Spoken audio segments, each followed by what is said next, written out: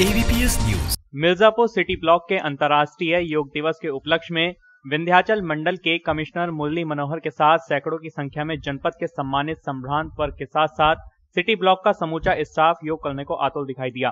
पूरे मनोयोग से इस योग दिवस की तैयारियाँ चल रही थी, जिसके परिणाम स्वरूप अंतर्राष्ट्रीय योग दिवस के अवसर पर प्रातःकाल साढ़े छह बजे से ही योगा कार्यक्रम शुरू हुआ। योग के दौरान बीच बीच में हास्य योग भी कराए गए, जिसके कराए जाने से पूरा माहौल तनाव मुक्त देखा गया। इस परिसर में हर स्तर के कर्मचारियों का एक साथ बैठकर, मंडल के सर्वोच्च अधिकारियों के साथ उनके सानिध्य में योग करने के मौके को भी लोग एक संयोग के रूप में ही देख रहे हैं। इस बेहतर संयोग को लोग प्रतिदिन निरंतर योग करके याद रखना चाहते हैं। योग के बारे में, उनके लाभ के बारे में कमिश्नर मुरली मनोहर ने बताया कि आज के परिवेश में हमारी भारतीय संस्कृति की अति प्राचीन योग की संस्कृति आज सर्वाधिक लोकप्रिय हो गई है।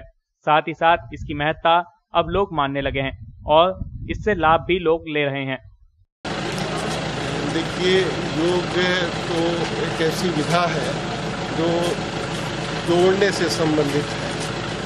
सभी लोगों को जोड़ने से इसकी पूर्ति होती है। योग से ना एक और शरीर स्वस्थ रहता है, मन प्रसन्न रहता है और मनो मस्तिष्क शांत रहता है। तो ये व्यक्ति के समग्र विकास के लिए बहुत ही महत्वपूर्ण है।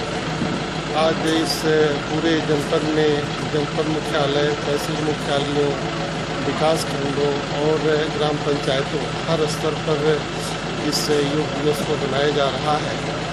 और जन जन तक इस संदेश को पहुँचाने की आवश्यकता है कि नियमित रूप से योग को किया जाए ताकि मनुष्य का सर्वांगीण विकास हो सके।